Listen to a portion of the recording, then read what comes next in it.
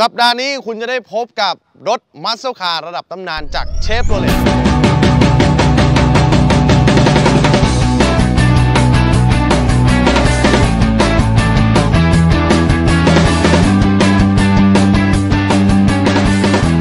ติดตามให้ดีกับ Max TV